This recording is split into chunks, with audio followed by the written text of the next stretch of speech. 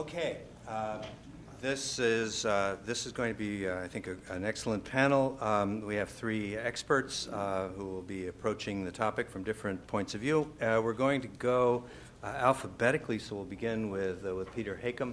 Perhaps we can just start with the, we can just, I think, do this seated, and we'll go one, two, three. They'll a chance to, to then discuss among themselves, uh, and then uh, we'll go into the question and answer period. Thank you. Thank you very much, Peter. Uh, I get the most time, right, going first? Uh, Let me say that uh, one thing, unequal partners may describe the U.S.-Mexican relationship. They also describe this panel. I have two real Mexico experts, uh, and, and me. Uh, So, um, uh, we all know how many books Sid Weintraub, where is Sid? There he is, uh, has written. And uh, the first one I wrote, read of his, and I couldn't help uh, remembering it when I began reading this book, was A Marriage of Convenience.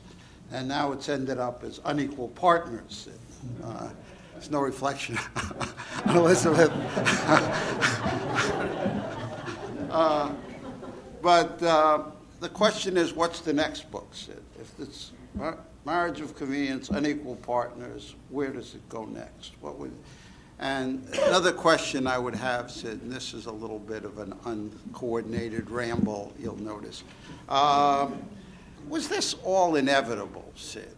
In other words, uh, I remember your book, Marriage of Convenience, your writings on the pre-NAFTA that were very optimistic. Even post-NAFTA were very optimistic.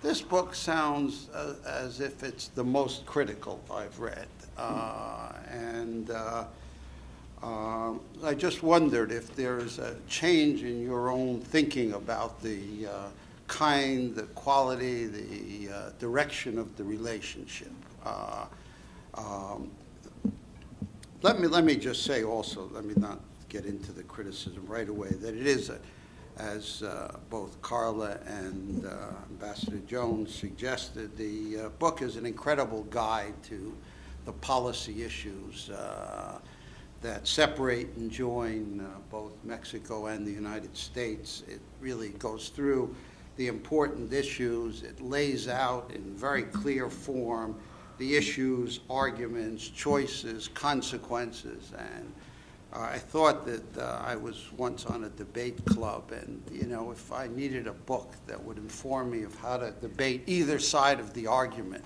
on Mexico, so this would this would provide it. Uh, it really is a very extraordinary sort of uh, map through the landscape of, of issues and problems. I have one small disagreement, Sid, uh, only, and, and uh, that is, I'm not sure uh, that I agree with your thesis that this is a relationship of dependency. And uh, to me, dominance and dependency, dominance means uh, you get your way. And the United States is not getting its way on many issues. Uh, Mexico may not be doing it by sort of taking an equal, uh, I think the, the title unequal partners is right, but I think the uh, way that the relationship evolves is more, uh, maybe the word, is there a word, obstinacy?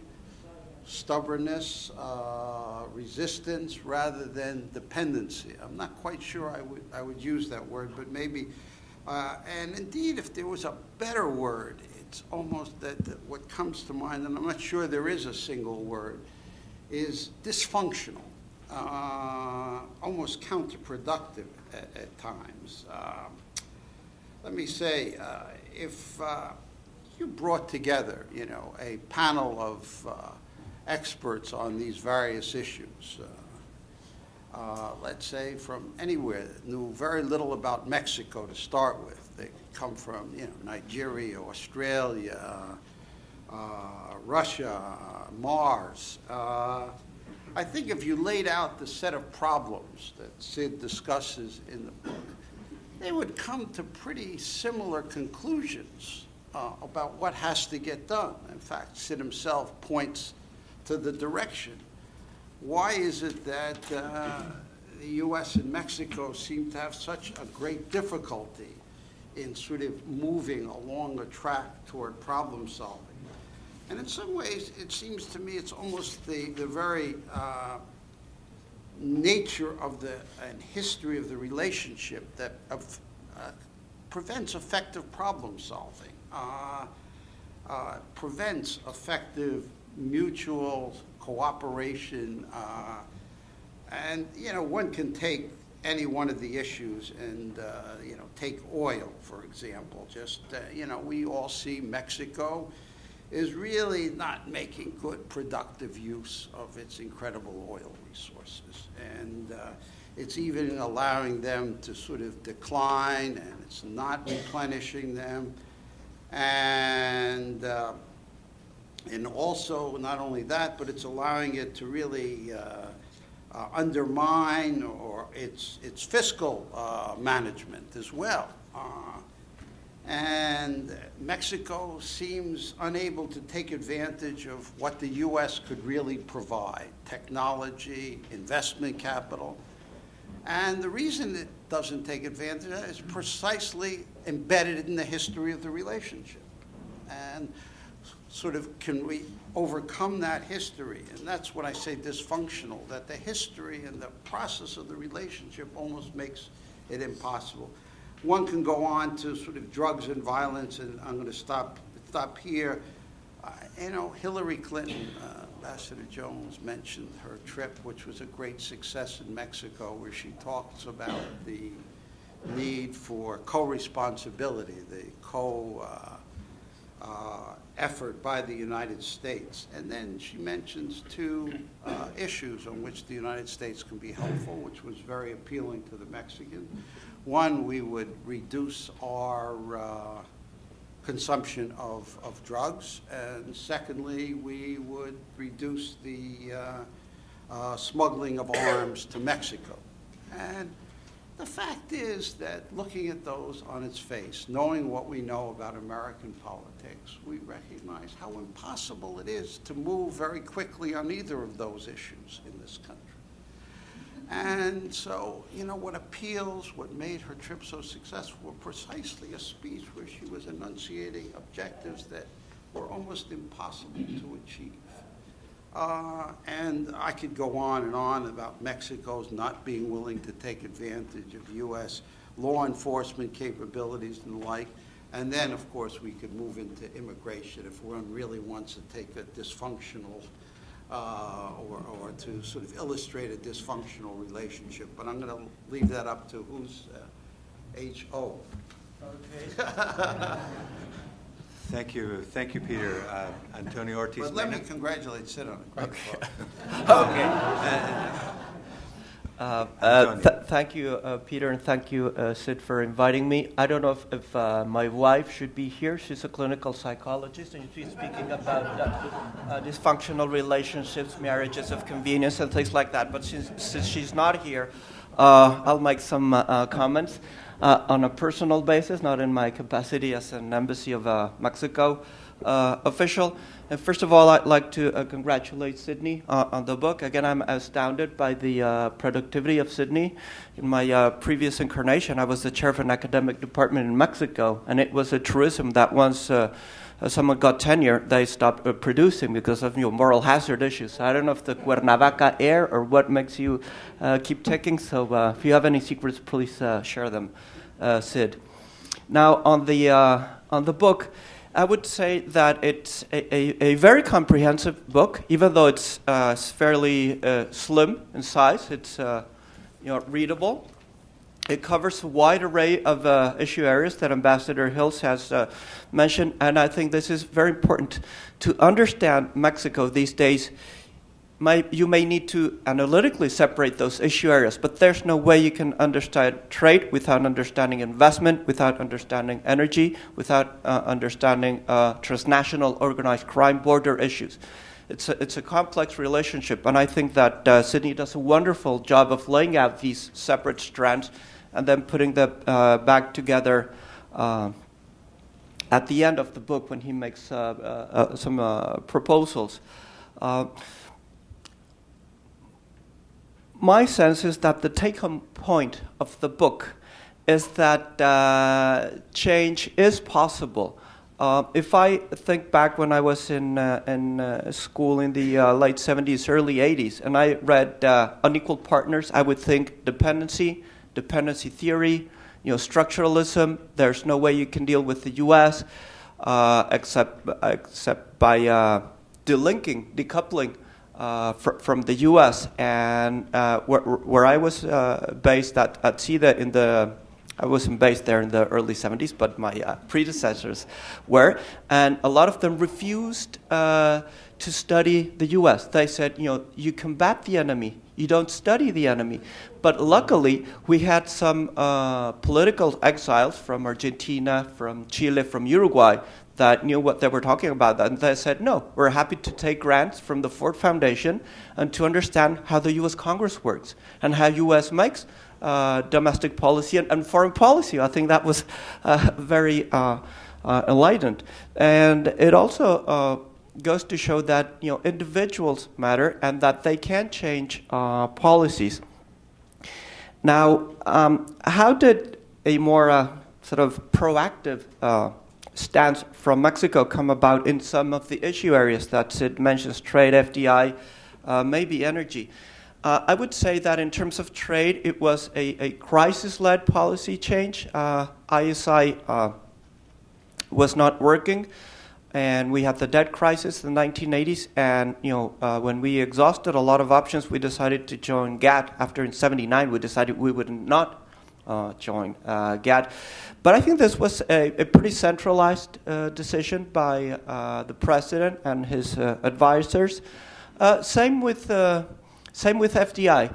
When um, FDI was um, highly regulated under the Echeverria administration, that was a decision made by Echeverria and a small group of advisors when FDI was subsequently uh, opened in the uh, 1980s with uh, De La Madrid and later on with Salinas, it was, I mean, nobody asked me uh, or a lot of other Mexicans. It was a, a, a decision by an elite, uh, by an elite group. And I, I believe that things are changing uh, in Mexico, but it, it's still very difficult to get a good degree of accountability from decision makers. Um, I think that in order to have a more functional uh, relationship as opposed to a dysfunctional uh, relationship, uh, we need uh, greater accountability both from uh, you know, uh, business leaders and political leaders. And I think that until we push through some very important political reforms in Mexico, starting with re election for members of Congress, it'll be very difficult to have a more uh, proactive, a more uh, long term view about how to do the things we need to do uh, to make the most out of the uh, relationship with the U.S. and the fact that we are joined at the hip. And it's, you know, I don't think that we want surgery. I don't think that you can have surgery. I mean, we're stuck. Uh, we're stuck uh, with each other. And I would end with a question for, for Sidney. What do you think it would take for U.S. leaders uh, to change the dynamic of relationship. I think this is an interesting book written by, by a U.S. Uh, former diplomat, a, a, a, U.S. academic, looking at things maybe from uh, from a Mexican perspective, in a way. I think it would be interesting to I don't know to have a Mexican or someone uh, look at at this uh, dysfunctional or complex relationship from a U.S a perspective. What would it take for U.S. leaders, both in government and in uh, business and, and, civil society, to change this uh, dominant dependent relationship or, or dysfunctional uh, relationship? And I'll leave that to Sid. Thank you. Thanks very much, Antonio. Um, Andrew? Thank you, Peter. Um, you know, first of all, congratulations to Sidney on a very fine book. Um, this is really it's, it's, a it's an easy book to read, and I think it's incredibly insightful and incredibly timely. Um, I, I, showed this book to a, a, colleague at, over at the Wilson Center the other day when it when it came out, and her first comment, she looked over on the other side and noticed that I had a comment on the back of the book and said, "Shouldn't it be the other way around? Shouldn't be Sidney Weintraub commenting on something that you have have written and not you commenting on Sidney Weintraub?" And I feel somewhat both honored but also slightly intimidated to to comment on that. On Sidney's latest book. Um, I, in fact, there's very little written on the U.S.-Mexico relationship, uh, and that's somewhat surprising. There's a great deal in the U.S. written on Mexico, um, surprisingly little on the U.S.-Mexico relationship, and, that, and that's true in Mexico as well. I mean, there's relatively little, given the importance the relationship has for, for both of us, for both countries, how little scholarship there is, and, and Sydney has really been at the forefront for for many years. Um, driving this scholarship. In fact, I was doing a literature review the other day on, on U.S. Mexico relations, and English language literature, I mean, I'm pulling numbers out of the air, but probably, you know, a quarter, a third of, of the good scholarship on U.S. Mexico relations must have been written by Sidney Weintraub. And that, that is rather surprising, actually. So it is, um, once again, we see, you know, his, his, latest updating of where things are as things in the relationship have moved. And I think it's particularly timely for, for reasons that I'll get to, to in a moment. Um, clearly, asymmetry is, is a major feature of the relationship. When you ask people who know, who follow U.S. Mexico relations, it's sort of the first thing that comes off the lip. That's not surprising. I mean, probably nowhere in the world is there a, a developed country and a developing country that share such an intense relationship, such a long border between them. Countries, you know, the U.S. is three times the size of Mexico. GDP per capita is, is roughly six times, depending how you calculate it. You know, 18 times difference uh, in ratio in, in uh, the GDP between the two countries. It's a significant difference. It, it's not surprising that asymmetry would be a major feature. But as Sidney points out in this book, you know, it's not only the fact that, that asymmetry exists, which is not surprising, but the way it's internalized and the way that it shapes policymaking. You can do lots of things with asymmetry. So the question is, how do we on each side of the border deal with this? And I, and I think Antonio's right to, to a large extent you know, this book is almost going to be more useful to people on the Mexican side than on the U.S. side. To, to some extent, it, it is a book about how Mexico can change the dynamic, but that's probably not surprising in, in any asymmetrical relationship. The, the one on, on the, the, um, on, on, the weaker side of the relationship often is the one in the position to change terms, the one that has the incentive to change things. And, and I think, as he shows in this book, has historically been the one that has changed what asymmetry means. Um, a little bit of history, and this is borrowing from our, our mutual friend Peter Smith. Um, you know, the U.S., to a large extent, has conditioned the relationship with Mexico through history, through its general foreign policy. I mean, originally looking at the acquiring of territory, um, then moving into questions of investment and, and, spheres of economic control, early part of the 20th century, and then post-war, post-World War II, the Cold War really conditioned U.S. policy towards Mexico, and Ambassador Jones referred to that as well. I mean, we largely saw Mexico through the lens of stability, through keeping it out of the, the orbit um, of the communist bloc. Um, Sergio Aguayo and Jacqueline Mas have written a pair of books, both done here at SICE actually, um, that, that, looked at how that conditioned U.S. support for a single party system in Mexico, for example. But largely our lens was stability. Stability, and you know, Mexico can have an independent foreign policy on Cuba as long as, as Mexico is sharing information on Cuba as well.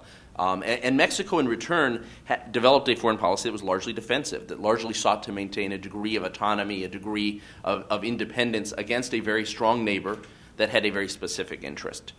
Um, this changed after the, the Cold War. And the, the Cold War, you know, as Peter Smith notes and Sidney, you know, implies here as well, the post-war period is a period where there is no single framework for U.S. foreign policy, where other issues, often real issues of economic interest, um, security, you know, drug trafficking, democratization, a few other things float up, but there is no single framework.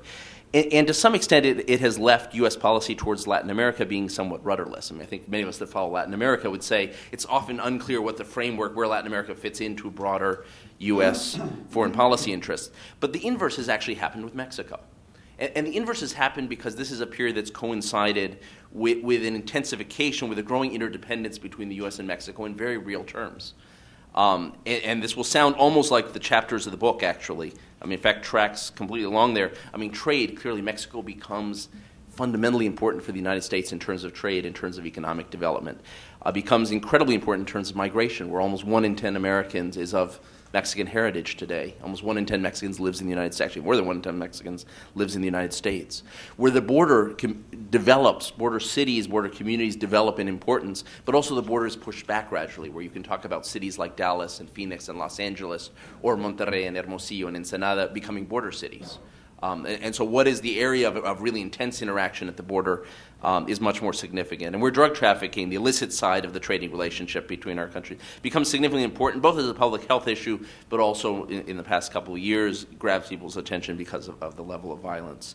Um, this is a period in the post Cold War where we, we no longer have a single foreign policy framework, but we develop a set of intermestic issues and intensity in the relationship that leads to a great interdependence between.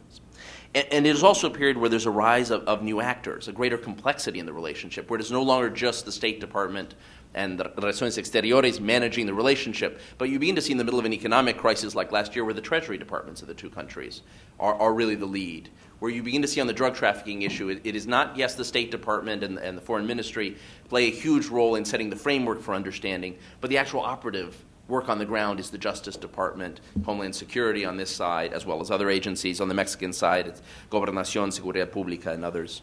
Where you see Congress has become increasingly important. And, and democratization in Mexico is fundamental here as well, obviously, in the same period, where Congress becomes a, a very important actor in Mexico as it becomes in the United States, and they begin to develop their own set of interactions that don't flow through the executive branch. Where you see border governors becoming important actors, border legislators, attorney generals, um, local mayors, and you begin to see people other than outside of government becoming important actors in the relationship, labor and business and others.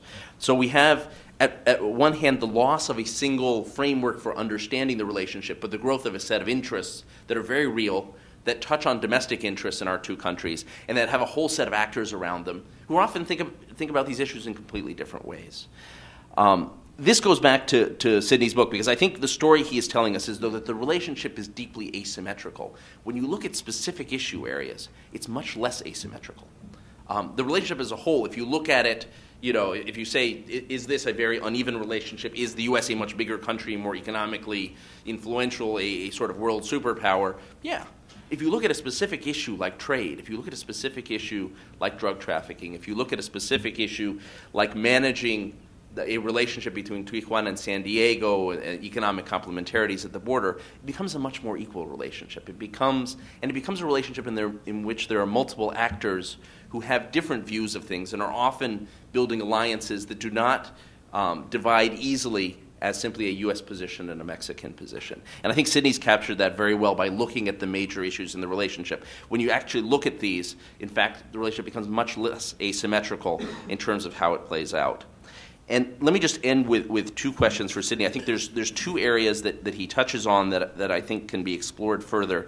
And these are perhaps limitations to where the relationship can become less asymmetrical over time. Because to a large extent, I think this is an argument about how, yes, it's asymmetrical, but how it can become less asymmetrical over time, and particularly how Mexico can drive this becoming less asymmetrical. One is to what extent um, can Mexico reposition itself in the world?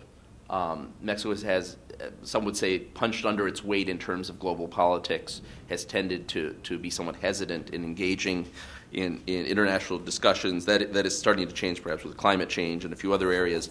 But to what extent can Mexico actually strengthen its position vis a vis the United States by having a more active position vis a vis other countries in the world as well and, and other major global issues?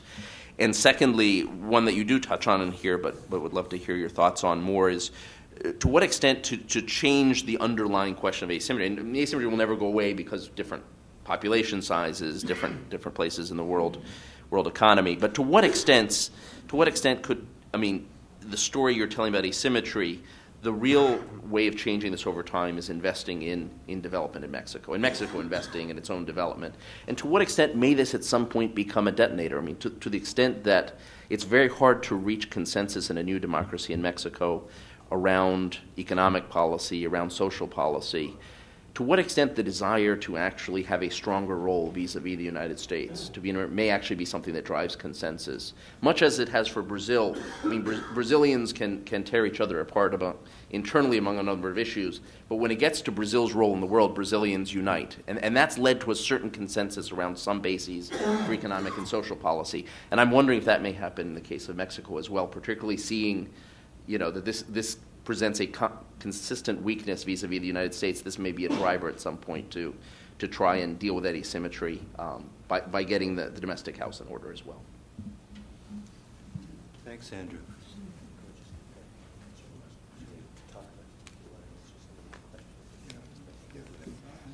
Thank you. Thank you very much to our to our three panelists. Uh, all of you have raised questions that are very basic to uh, to Sid's book, and uh, and perhaps uh, uh, it would be useful now for for Dr. Weintraub to address some of those questions. We heard Peter, Peter Hakim uh, expressing his sense that the tone of the book is more critical than in the past, less optimistic. Um, Is this a change in thinking? Uh, Antonio uh, mentioned, or raised the question of what it would take for the United States to really begin to change uh, its positions on Mexico. Andrew questions about uh, what, to what extent can Mexico repossess, uh, reposition itself in the world to strengthen its own position and deal with the question of asymmetry. Other questions as well. Um, Sid, why don't you, you want to take them on? I'll be brief on these, and then I, I hope we give the audience a chance. I'll go in order, although they disagree with each other. So if I answer, I answer some of the questions that Peter Hakim uh, gave. They will disagree. Other people didn't necessarily agree, uh, and I'll point out where where there are differences, maybe. Uh, uh, I think the word dysfunctional is a lousy word. Uh, I hate to say that uh, because there have been so much working together. It has not been impossible to change Mexican policy. That's at the heart of the book. When something happened in 1982, when the debt crisis uh, came, they changed on a dime. The policy. To the microphone, Sid. Uh, the pol- can you hear me? Okay. The policy did change. It changed quite radically, and it changed overnight. It, it the U.S. is a, a lot slower in changing, and I'll come back to uh, I'll come back to the decision. Uh, the uh, some things, in other words, the idea that it's impossible to change has been disproven by facts. I give, I give some other examples in the book. In the 1994 uh, exchange rate crisis, really, and then the 1995 uh, depression uh, in Mexico, overnight, even against their will, the Mexicans changed from a, a fixed rate. It was a, it was, it was a a spread between the upper and lower bounds of that, uh, of that fixed rate, they changed to a floating rate. In other words, it's not impossible to change. When, when, when the circumstances change, Mexico has been more able to change uh, quickly than the United States has been. Uh, and that impressed me, and that's one of my one of the main conclusions I reach, and it's a it's a question asked by Antonio uh, and I want to come to that, why Mexico is more able to change uh, than the United States. Uh, uh, and I guess it's in part we're a bigger country. We, we're somewhat more arrogant. We're somewhat, somewhat more sure of the fact that we're right about things. And I think that probably gets into it very much. Uh, you know, why should we change? We're the strong guy. They're the weaker guy. They should change. It's a lousy policy to follow for the United States, but we do that frequently. Uh, and he asked, how could we change? How could we change on a lot of things? Uh, uh, you know, uh, trucking is one example, for example, that was raised by uh, Carla. I think the fact that the U.S. Congress and the President's willingness to sign a bill which cut off the special arrangement on trucking was about one of the most deplorable things I've ever seen. And the Congress did it and the President did it because they assumed Mexico was so docile, they had been for the 10 previous years, they wouldn't retaliate. Well, when we gave, when we told Mexico definitively, we're never going to change, that's what that legislation was. That's what that signature was. They they retaliated. I don't know whether whether uh, whether Obama will deal with his labor union. That's why he did it. That's why he didn't try to uh, go back to the agreement originally signed in NAFTA. I think he may do it now. In other words, the question you asked me, Antonio, was how can we change? And I think it's up to the President of the United States, who has not paid much attention to Mexico. Uh, he's a little bit like Lyndon Johnson. He's willing to talk about it abstractly, but he's not paying much attention. He's not paying much attention to sort of say uh, what's happening. It was useful uh, for Hillary Clinton to give, blame ourselves a little bit for having such big consumption and, and creating Mexico's problems. We used to argue, if you look through history, that it was all Mexico's problem.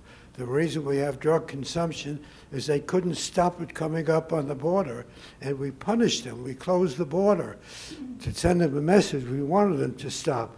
In other words, we were, we were, our tendency was to blame Mexico for our problems. At least that changed, but it has to change more than that.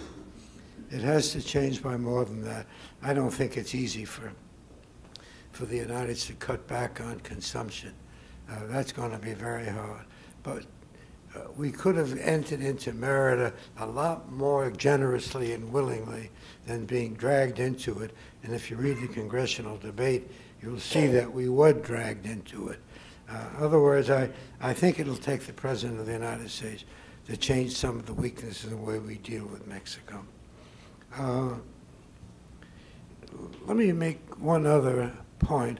Uh, in many respects, what I'm trying to describe in the book is, is not necessarily unique to just Mexico and the United States. I make the point earlier, you can look at some of the history of other neighbors where there was deep conflict, dominance, dependency, if, which is the phrase I used. And I think the word dependency is the right one.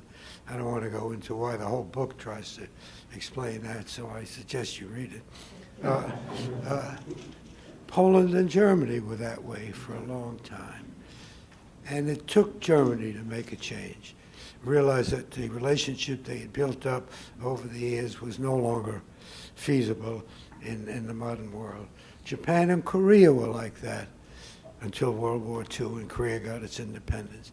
Those relationships have changed, not fully, but largely. And what I'm getting at is the U.S. Mexico relationship is changing. The final question I want to deal with two, two points that uh, Andrew, Andrew Selee made about uh, how can Mexico reposition itself. He used the word he used the word asymmetry all the way through. I deliberately wanted to get away from that word. It's self evident. There's no sense writing a book that the United States is richer, more powerful than Mexico. We know all of that, and it's self evident. The point I was getting at was not asymmetry. Why write a book about something that's self evident? It was really that dependency dominance relationship. Asymmetry exists between the United States and just about every other country in the world, uh, but they're not all the same. We don't treat European countries that are weaker than us in the same way that we, we treat Mexico or have treated Mexico in the past. It's a neighbor, and it makes a difference.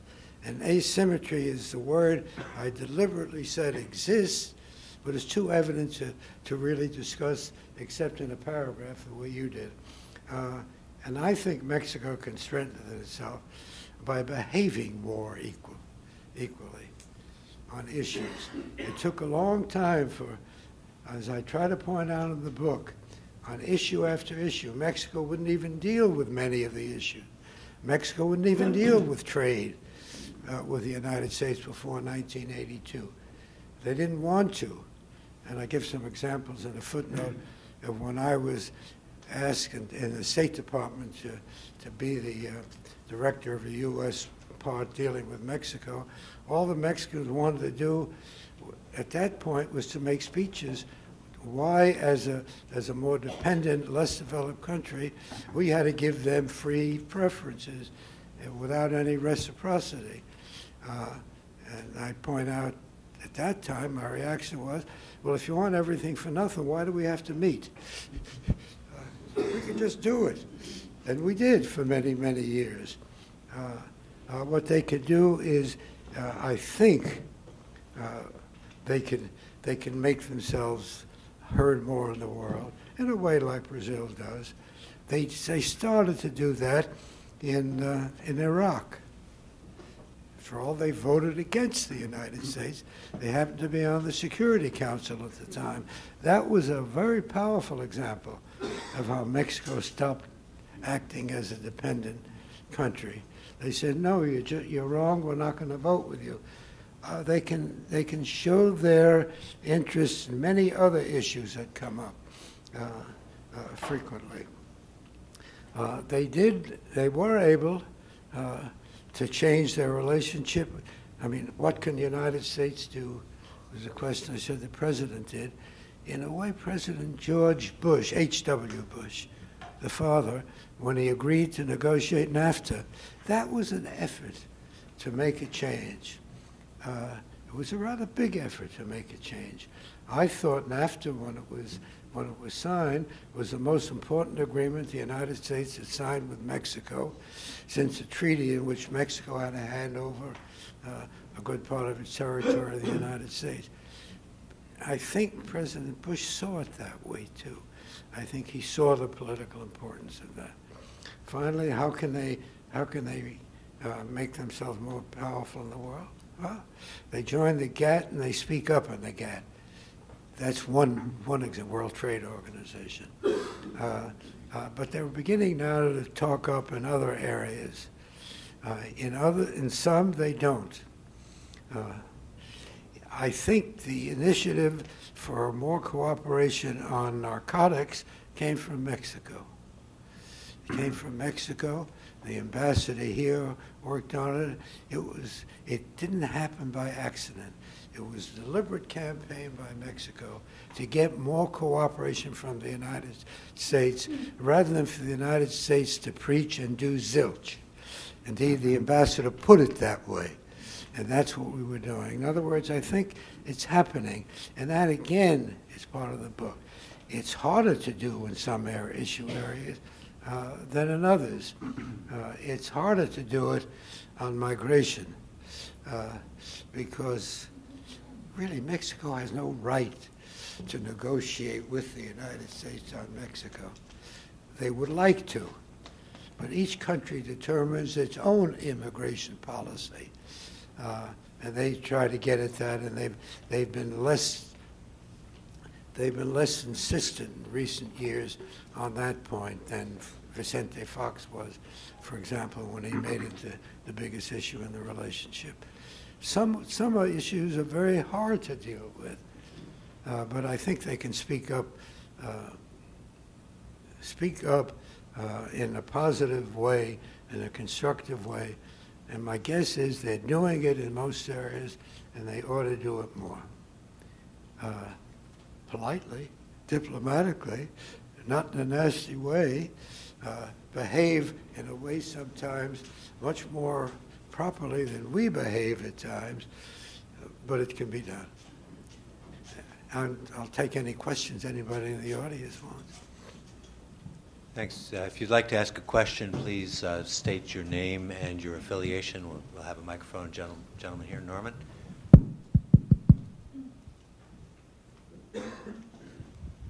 Norman Bailey, Institute of World Politics. Um, first of all, my congratulations to Sidney on his most recent book, and uh, I, I can comment freely on it since I haven't read it yet. Um, in any case, uh, my question is for anybody or everybody on the panel, and also for Sidney. Thank you. Can anybody explain to me something I find really mysterious? And that is, since our relationship with Colombia is actually considerably less important than our relationship with Mexico, why is it that we have, through Democratic and Republican administrations, been able to have a very productive relationship under Plan Colombia with Colombia, which has been quite remarkably successful for years, and we simply cannot do the same kind of thing uh, for Mexico? The Merida Initiative, and, and Sid uh, commented on it very briefly, uh, frankly, has been an, enormous disappointment to just about everybody, and I, I don't understand the reason that the one can be done and the other can't be done. That's for anyone on the panel and for Sid. Well, I'll answer first and then let the others do. We did, we deal with Colombia in a positive way on certain things. Uh, narcotics. Uh, Uh, and indeed, in part because there was a, I think part of the motivation is that there was a guerrilla movement in Colombia that made a difference to us. It was getting engaged really in narcotics trade, the FARC. That's, that's part of it. And we didn't know where that would eventually, uh, eventually go. Uh, Mexico has some uh, oppositional groups, but there's not any group, any guerrilla group in Mexico that's as powerful as the FARC was when, when policy began to change. If there were, I think we would have acted more quickly. But at the same time, uh, you explained to me, I can't understand why a country as friendly as Colombia, which has free trade, uh, entry of its goods into the United States anyhow, can't get the president to make a big fight really for a free trade agreement. That's the one that puzzles the hell out of me.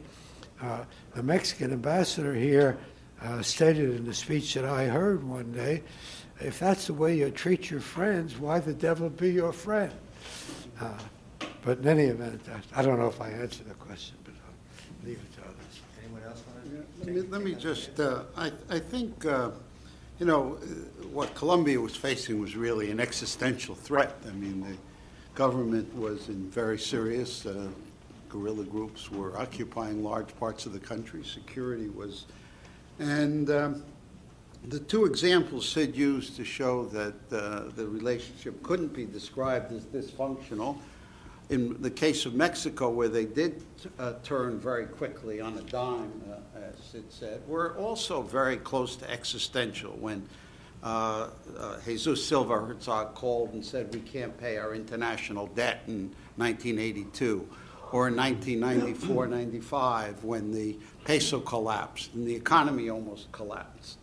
Uh, that's when, yeah, and countries find it a lot easier to find common ground when uh, there is real, serious, deep existential threats. And I, I think that much of these other issues are not quite that. Uh, Sid has just said very well that uh, Mexico is nowhere near as threatened as uh, Colombia was for so many years.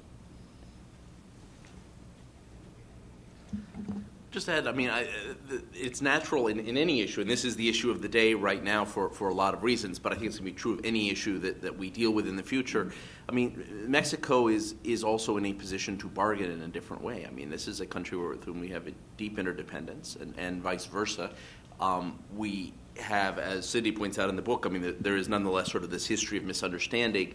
We're beginning to recognize the degree of, of interdependence we have, the, the, fact that both countries can push back against the other very effectively on specific issues. It no longer breaks down the relationship when we push back on each other. we push back on one part, we can still work together on another part. But it's going to take us a while, I think. It, it, when I say a while, we're probably talking decades before you know, we have the kind of understandings that allow us to, to work much more fluidly on the incredible complexity that we have in the relationship. So. Thank you very much. Joe, you question? Ahmed Mir, uh, retired from the Foreign Service. I was in Mexico during the NAFTA negotiations, both under Ambassador Jones and Ambassador Negroponte. And I don't think we've ever worked harder, the United States policy, to support Mexico. But I think after that, we abandoned. It seems that obviously Iraq was one of the reasons, but the whole uh, last decade, it seems that we've only been working with Mexico on problems. Mexico is a rich country. The question is, uh, you, why is it that we have not been able to maintain our momentum? What you say, I agree with what you say uh, that we did work very hard to get uh, NAFTA passed. You have the right next to you have the woman who did a lot of the key negotiating for for NAFTA, and I and I think they did the negotiators did a remarkably good job on on on, on both sides, uh, uh, and the agreement was what it was, and its main its main points were accomplished on trade and investment. Why we lost interest? Because it was clear to all of us, indeed, at the time NAFTA was approved, a lot of us said and wrote, and I think they knew that all over in people who follow uh, these relationships. If it became a static agreement, it would lose its force over time. It, it, it became a static agreement essentially. In addition to that, we signed many more free trade agreements. So the exclusivity that Mexico and, and Canada had, Israel to some extent, but that was less significant, uh, got lost. So the growth slowed down. Uh, and I suspect that what happened was is that the opponents of NAFTA, uh, mainly the labor unions, uh, I don't dislike labor, but the labor unions have been an obstructionist group on that, on trucking, on a good many other things, have never given up their fight to uh, against against NAFTA. Uh, and the evidence that gets pointed out by eminent think tanks is that the reason uh, the reason Mexico's growth rates were not very great uh, uh, over the whole period, the last 25 years, uh, some of them blame it on NAFTA or post NAFTA. They blame it on NAFTA in ways that are, I don't even understand. Uh, uh, my, my, view, my view is a little different. I blame it on Mexico failing to take the structural things that everybody in Mexico who studies the issue uh, know. I'll come back to your question. Uh, Peter uh, made the you know, sort of made the point that uh, the book is very critical of Mexico. I don't think it is. I think it really just essentially, put it differently, it agrees with what most economists and most people who study the country from within say about themselves. In a sense, I don't think I introduced anything new in that debate because all Mexican economists have wanted things to change. Uh, what I'm talking about is the educational system, the monopolies in Mexico, uh, the labor laws that make it impossible to, to hire people. Uh, Santiago Levy just wrote a whole whole book on that. Uh, uh, uh, I mean, it, it's quite known. Why we didn't do it, I don't really know. I don't really know. But you would agree that we won. We wanted all of. We wanted to have free trade with all of South America. The Brazilians really were the most responsible for killing that. Uh, I, my own view at the time, and I remember writing a note to uh, uh, to Mac McLarty because he had something to do with it, and saying, "Why don't you go ahead without Brazil? Let them go their way, and why don't we go go our way?" Well, they I guess he and others in the government thought Brazil was too important, we shouldn't do that. Uh, I think we haven't done it because there's a lot been written in think tanks and others uh, blaming the depression in Mexico on NAFTA and blaming, blaming high unemployment in the United States on the trade agreement uh, with Mexico and Canada.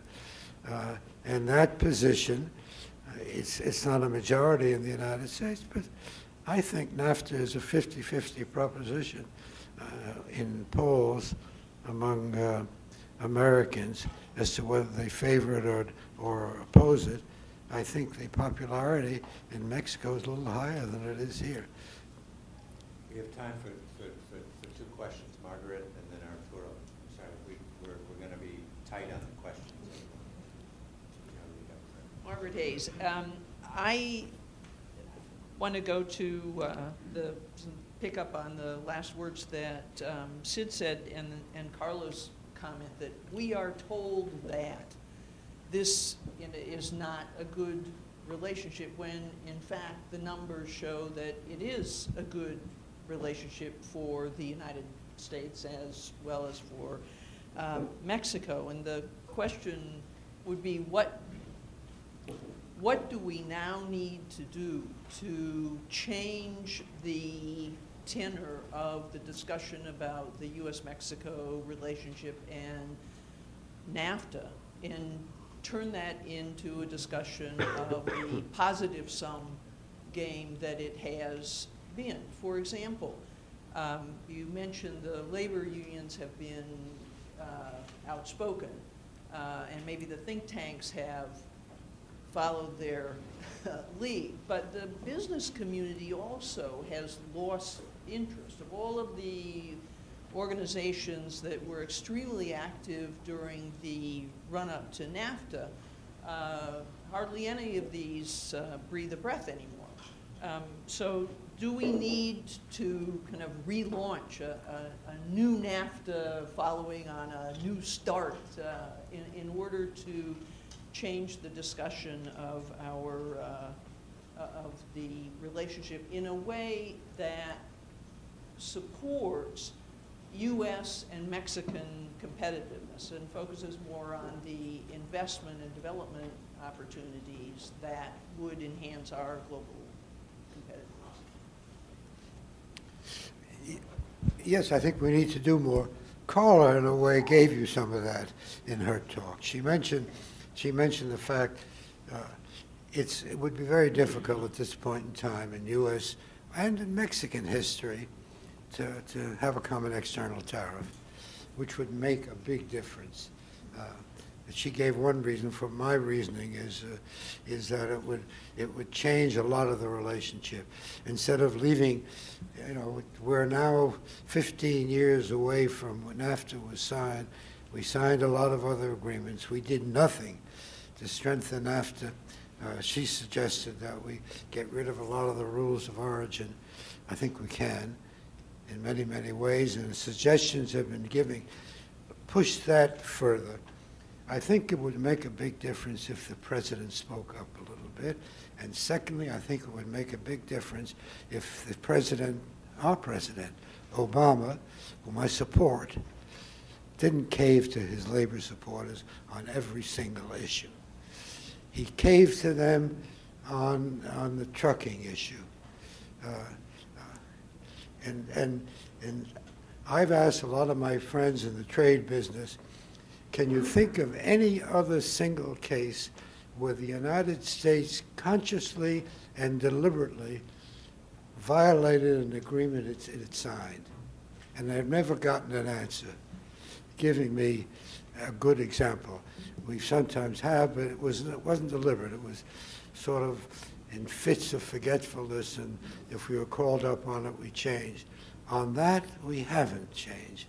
Uh, I'm sort of hoping that all of the industries that are losing their market in Mexico eventually have some influence, losing the market because of the uh, retaliation. In other words, I think there's no substitute for the President of the United States to indicate that he cares about Mexico, and he has not done that. Thank you. Arturo? we wait uh, get you a microphone there? Thank you, Arturo Porzecanski with American University. Uh, thank you, Sidney. I look forward to reading your book. Um, the relationship is indeed unequal, and I think uh, I, I, sympathize with the idea that in order to even it out a bit, it's going to be mostly up to Mexico, either to pose a greater risk to the United States or to uh, become more of a land of opportunity to the United States and that's is what's going to take it to, to, to be put uh, on the radar screen uh, and, and to even the relationship.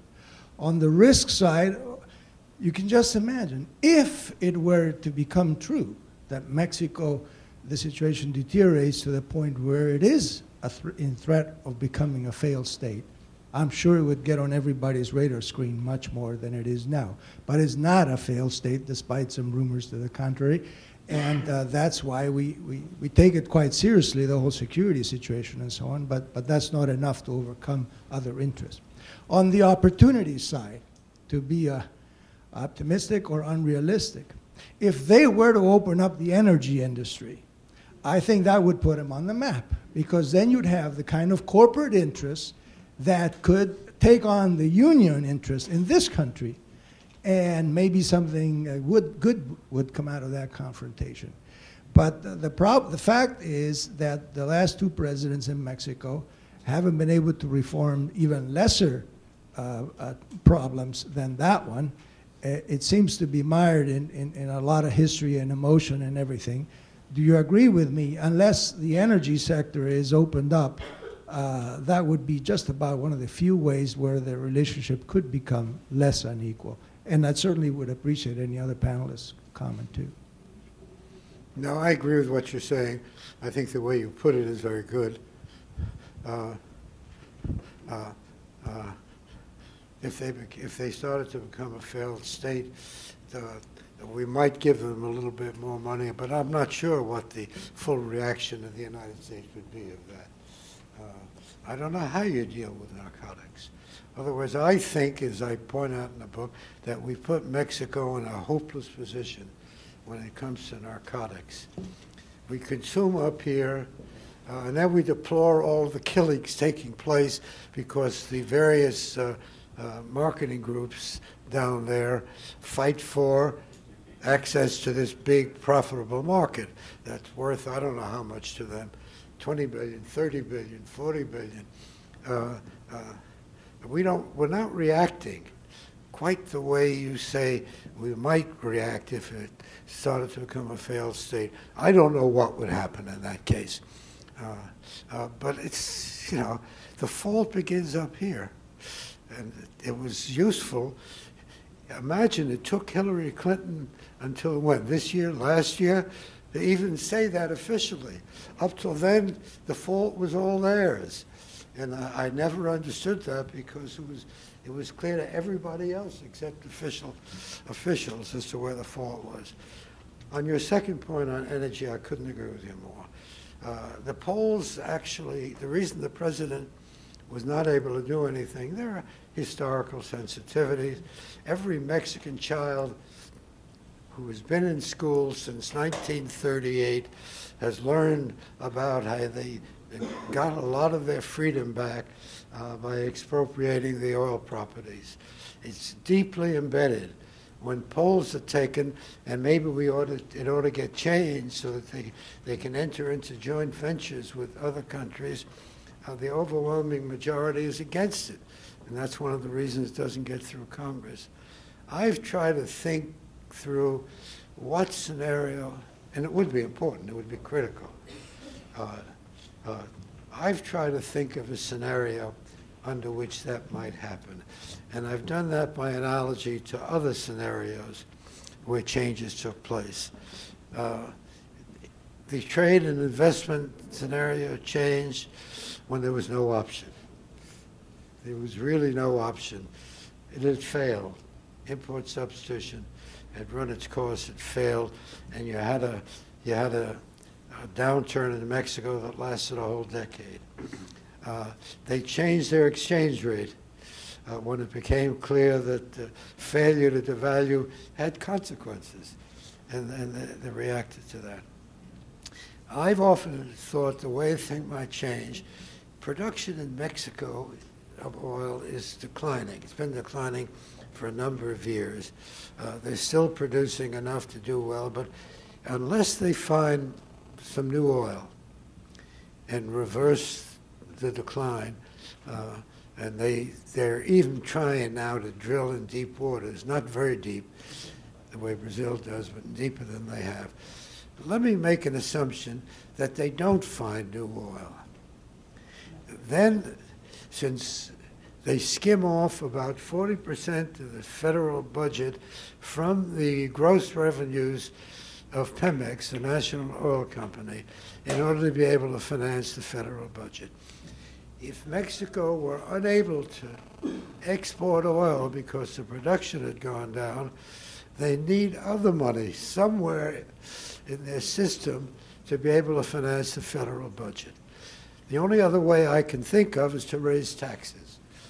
Uh, and then if a choice came between raising taxes enough to finance the federal budget or doing nothing, I think the choice between raising taxes and allowing foreign investment, joint ventures, you don't have to privatize uh, Pemex, that it's harder to raise taxes.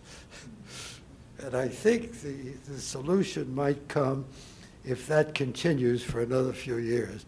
Uh, beyond that, I don't see the solution. Uh, in other words, I, Mexico takes these steps the ones I mentioned after a crisis. And I think it would take a crisis to change this. Invite the panelists, uh, any, any comments they may have? Antonio? And, and then Andrew? Uh, uh, Yes, um, I think that uh, to follow your uh, question, that paradoxically, uh, the, the U.S. Uh, has taken uh, NAFTA for granted, and Mexican businesses as well, precisely because what, uh, of what Ambassador Hill said, because it has been very successful. It has promoted trade, and it has promoted uh, uh, investment, and uh, business leaders on both sides of the border just you know did their own thing. They did. Uh, uh, business. But I think that now we need to give it a, another impetus. There are worrying signs on, on the U.S. side about uh, creeping protectionism with initiatives such as Buy American.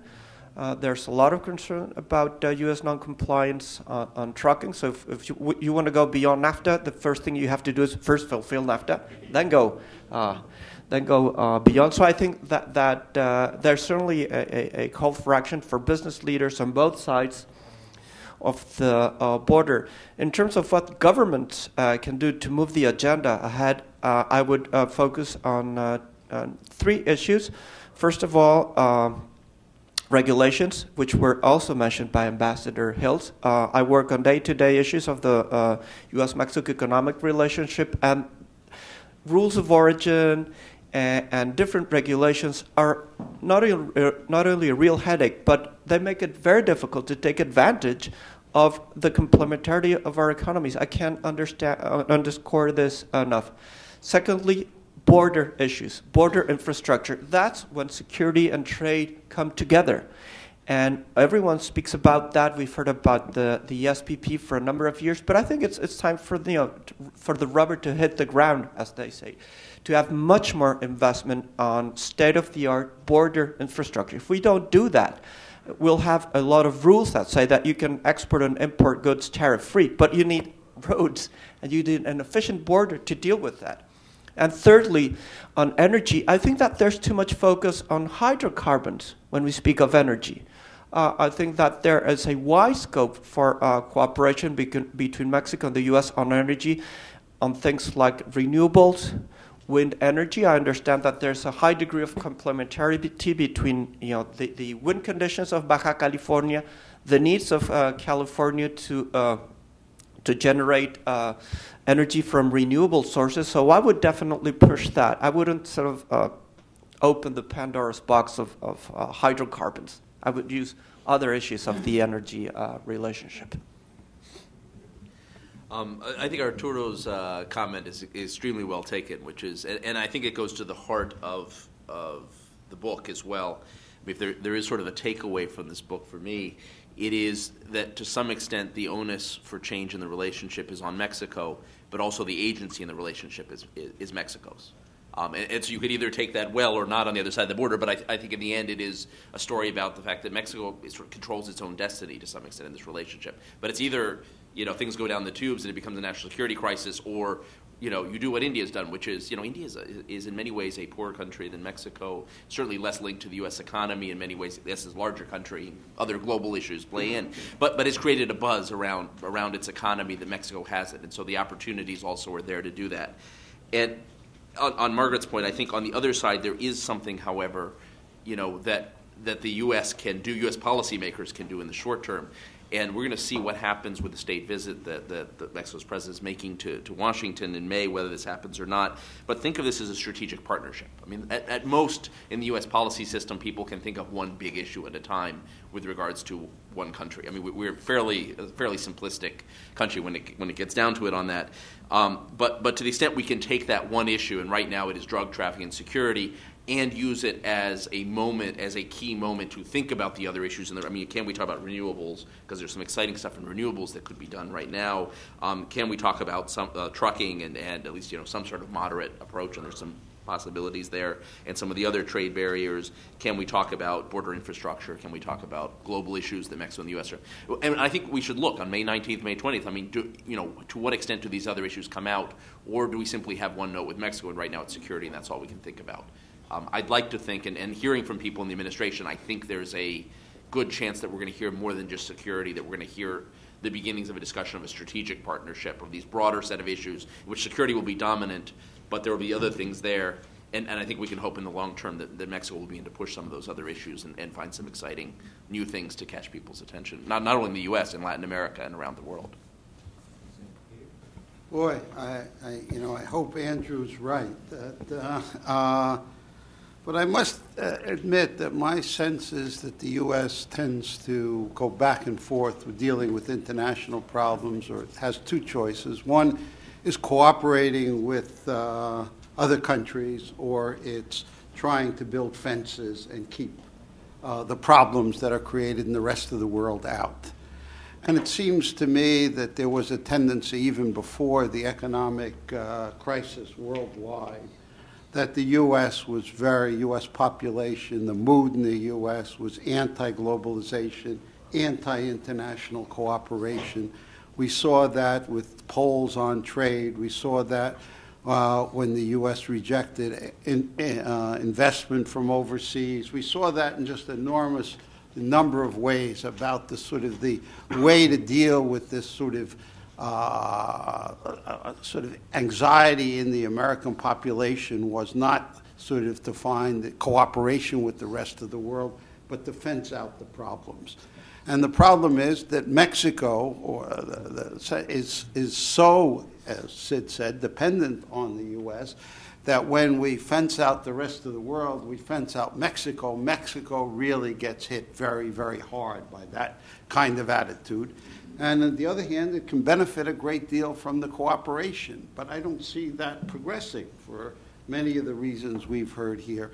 And the reason that the Obama administration is not giving the attention to Mexico is that it just doesn't matter that much to and he has there's a whole set of other problems anxieties challenges that he faces and that mexico is just very low on that list and uh, that's where I liked your formulation. Uh, you know, it takes great risk or great opportunity to move the United States. And, and when you say great, it's not just uh, sort of, that means very, very large because the U.S. faces enormous risks already and enormous opportunities in many places. And so it really has to be, uh, you know, really uh, beyond what you know it's it's not just great it's you know super great risk or super great opportunity to move the United States at this point. Thanks, Peter. Sidney, last word. Well, I just want to make two brief points quickly. I never answered my, uh, Margaret's question. I realize about business. If Obama were to speak up, the business would speak up. The reason they're not doing is they don't expect anything. They don't expect support from the government or from the Congress, and they don't want to push against a, a rope because they would rather have some help. And the second point, that maybe one of the reasons I wrote the book, is that in my view, the U.S. Mexican relationship is, other than on issues of war and peace, where it doesn't come in, I think is the most important relationship the United States has. We have a long border problems that originate there come up here. Uh, when they had the financial collapse, uh, the United States reacted. They reacted because they thought U.S. banks would fall. We reacted uh, earlier. Uh, we made a $50 billion uh, loan to, to help uh, pay off the Tesobono. I mean, we do things for Mexico at a critical moment and we could avoid those critical moments if, in fact, the president fully understood that it does matter. It matters, what happens there matters more on issues of war and peace than it happen, what happens in any other country in the world. I mean, we, we go crazy, our stock market, when the Greek economy looks like it's going to collapse. Greece is a, is a trivial thing for the U.S. economy and U.S. political scene compared to Mexico. And I, and I wish the president would recognize that. Thank you. Thank you very much. Uh, Sidney's book, I think, underscores the centrality of the relationship of Mexico to the U.S. There's lots to lots to be thinking about as we go forward. I'd like to thank our, our three distinguished panelists. Uh, and uh, their predecessors of um, making an introductory remarks. Thanks, Sid, very much for, uh, for sharing his thoughts with us, and thank all of you for having come. Uh, it's been a very interesting, uh, uh, very interesting session. I think you'll find the book extremely interesting if you haven't read it, and if you would like to get your copy signed by Sidney, he is here for that. Thank you all very much.